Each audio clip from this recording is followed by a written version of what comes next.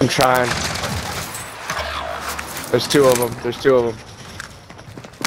There's one really close to us. In front of me, right in front of me, right in front of me. Shit. He was right around that box. Your teammates in the gulag. If they survive, they can redeploy. Enemy dropping into the AO.